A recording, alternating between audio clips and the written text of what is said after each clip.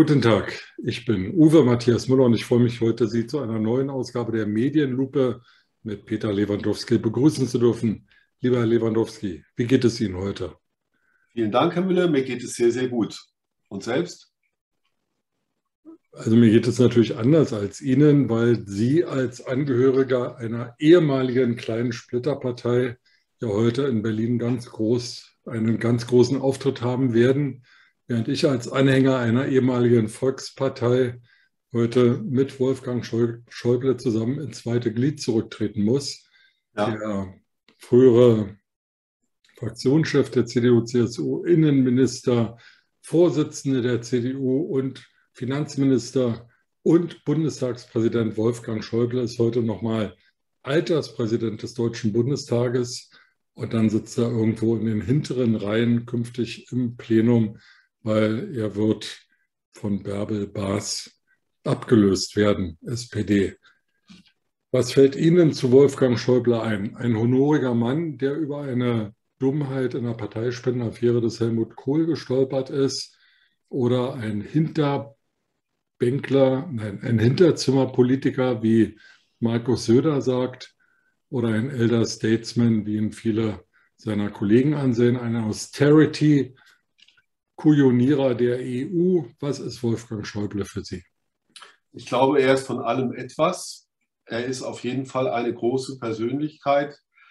Ähm, der Mann steht ja auch für die Verhandlung der deutschen Einheit.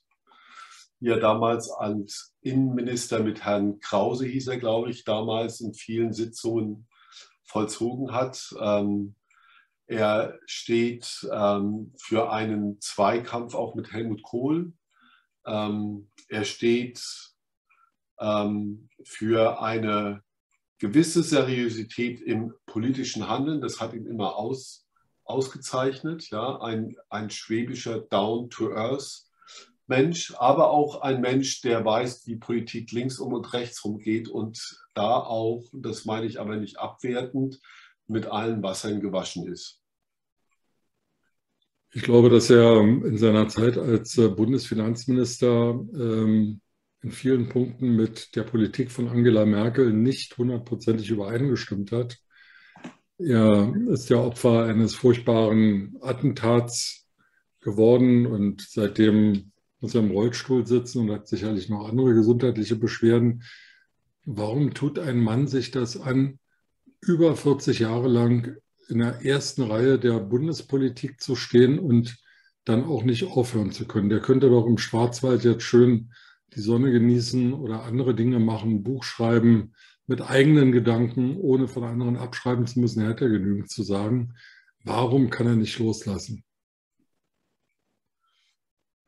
Na, ich kann es nur in Bezug auf das damals schreckliche Attentat sagen, weil er hat seine Bewegungsfreiheit verloren, er hat ganz viel an Lebensqualität verloren und er hat damals gesagt, für ihn beginnt ein zweites neues Leben.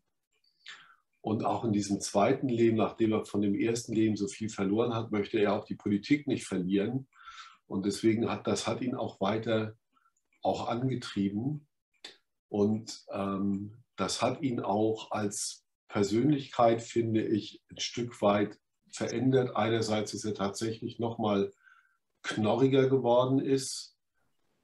Der Ehrgeiz hat sich aber dann doch etwas reduziert.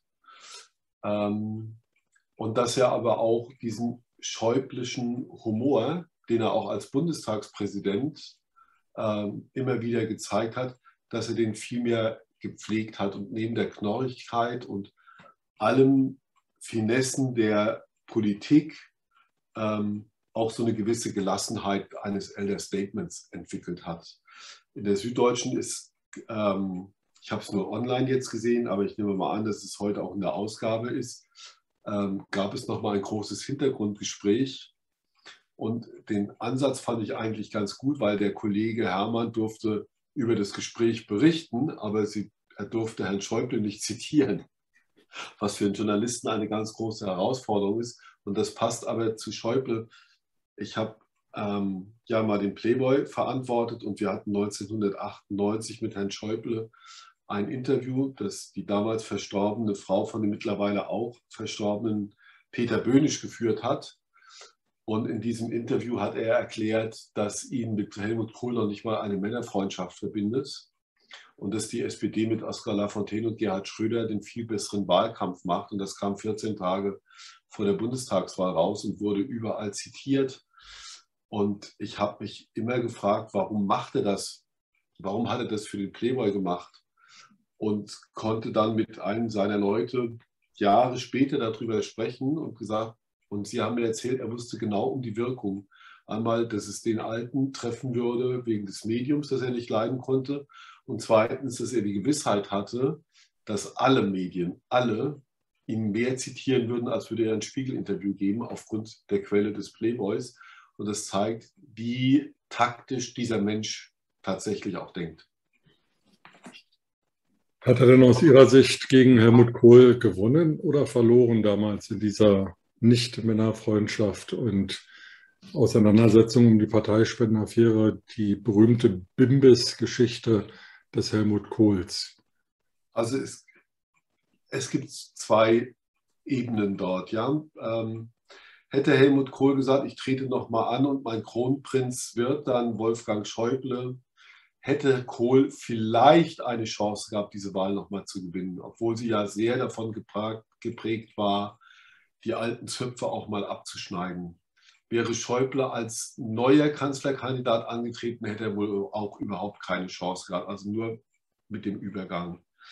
Äh, bei der Bimbis-Affäre würde ich sagen, ist er dann doch langfristig als Sieger herausgegangen gegenüber Kohl, weil Helmut Kohl ist doch mehr oder minder in seiner Partei dann tatsächlich auch, man muss es so hart sagen, geächtet worden. Da hat Angela Merkel auch aufgeräumt. Da wurden auch die Verdienste dieses Mannes nicht mehr gesehen. Man hatte eher das Gefühl, man schämt sich dafür, ob das Verhalten jetzt von ihm dann richtig war oder nicht. Und Schäuble, wir wissen das ja auch mit den Auseinandersetzungen mit, mit Söder und Laschet ist ein sehr, sehr einflussreicher Mann, der auch weiterhin in der zweiten Reihe der CDU bleiben wird.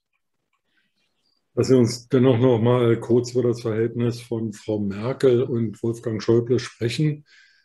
Ähm, Frau Merkel hat als Generalsekretärin, er war Bundesvorsitzender der CDU, sie war Generalsekretärin der CDU, Weihnachten 2000, Weihnachten 2000 in der FAZ einen Artikel veröffentlicht und sich von, von Helmut Kohl abgesetzt. Dieser Artikel, sagen beide, war nicht abgestimmt. Helmut Kohl kannte ihn natürlich nicht, aber auch Wolfgang Schäuble kannte ihn vorher nicht. Und äh, dieser Artikel hat auch dazu beigetragen, dass Wolfgang Schäuble dann äh, die Rückendeckung verlor und äh, zurücktreten musste. Am Ende, nach einer Serie von Regionalkonferenzen, wurde dann die damalige Generalsekretärin Angela Merkel Bundesvorsitzende der CDU und fünf Jahre später Bundeskanzlerin. Ähm, ist das nicht auch nur, nicht nur ein politischer Mord an Helmut Kohl, sondern auch an Wolfgang Schäuble gewesen, der doch sicherlich sehr gerne selbst Bundeskanzler geworden wäre? Na, der Ausdruck ist im Zusammenhang mit Wolfgang Schäuble etwas zu hart.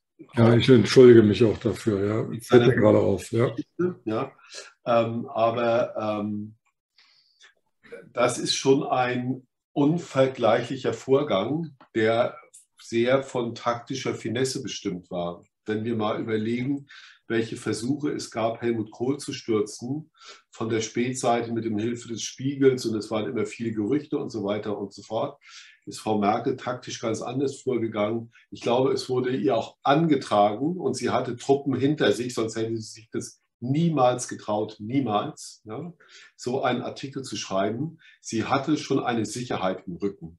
Ob, das, ob sie die organisiert hat, glaube ich noch gar nicht mal, sondern das hat sich dann irgendwann ergeben, weil man neue Gesichter für die Union haben wollte. Wir sind ja in einer nicht unähnlichen Lage, obwohl wir bei der Union, obwohl wir jetzt diesen großen Elder Statement nicht haben, vielleicht noch Friedrich Merz, aber der weit von Schäuble tatsächlich entfernt ist.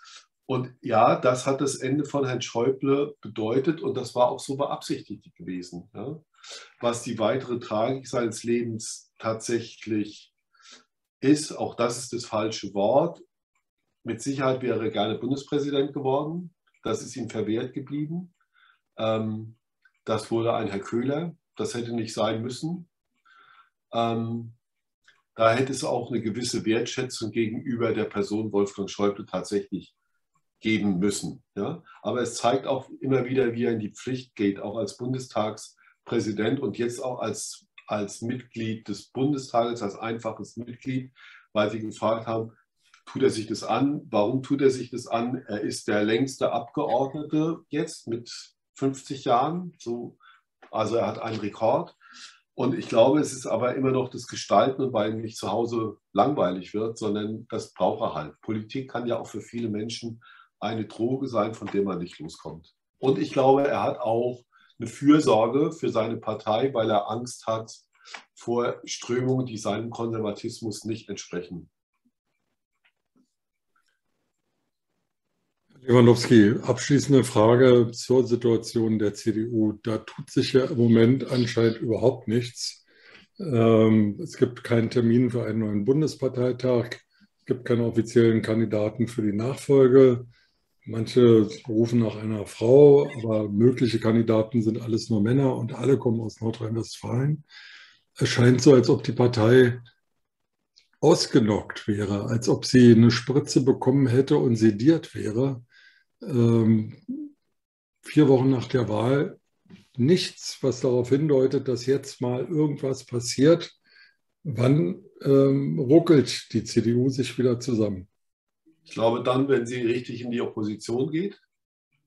Da ist jetzt noch nichts Greifbares und deswegen würde ich auch sagen, in dem Fall tut dieser Partei die Opposition tatsächlich gut. Was sie jetzt momentan ist, eine Schockstarre zu sein, auch nicht so richtig zu wissen, ähm, was wollen wir. Ähm, das hat sich aber schon abgezeichnet. Wir haben auch schon mal darüber geredet, auch der, Wahl, der Zweikampf zwischen Söder und Laschet, der nicht mit fairen Mitteln in irgendwelchen Formen. Und selbstverständlich hat auch Schäuble da recht gehabt, einfach erstmal zu sagen, wir von der CDU haben hier was anzumelden, wir sind die größere Partei. Schäuble hatte ja auch Angst, dass er so eine Mischung zwischen Trump und Boris Johnson in der Person von Söder bekommt und Populismus, das darf man ja auch nicht vergessen, dass der Mann ja nicht nur für bestimmte hehre Werte und Ziele steht, sondern ein sehr wandelbarer Mensch ist, der auch sehr aggressiv sein kann. Also das hat sich schon alles irgendwo abgezeichnet, auch allein durch diesen Machtkampf und den unterschiedlichen Strömungen in der Partei seit zwei, drei Jahren. Wenn man auch mal daran denkt, dieses mühsame Finden nach einem neuen Vorsitzenden, nachdem Frau Merkel den Vorsitz abgegeben hat mit diesen Regional- Konferenzen. Das ist alles nicht gut und ich glaube, in der Opposition werden sich neue Führungsqualitäten tatsächlich von unterschiedlichen Personen zeigen. Das ist dann am Machbaren. Bisher ist es ein Schaulaufen. Ob Herr Röttgen jetzt noch weiter in der Talkshow sitzt und irgendwie staatsmännisch daherredet, Herrn Brinkhaus kann man nicht beurteilen. Herr Spahn versucht sich überall anzudienen, auch bei der JU und tritt in Sneakers auf und macht ein Tänzchen auf der Bühne. Ähm, das merkt, daran merkt man einfach diese Unsicherheit in dieser Schockstarre auch und keiner traut sich mit was auch momentan so richtig aus der Deckung. Das ist schön, dass Sie sich immer aus der Deckung trauen, Herr Lewandowski, und bei der Medienlupe Tacheles reden. Ich danke Ihnen dafür für heute, wünsche Ihnen einen guten Tag und freue mich, wenn wir uns bald wiedersehen. Vielen Dank, Herr Müller. Einen schönen Tag und Kopf hoch.